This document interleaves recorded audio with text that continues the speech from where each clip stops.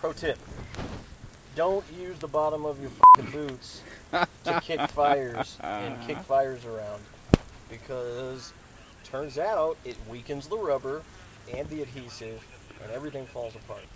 Pro tip.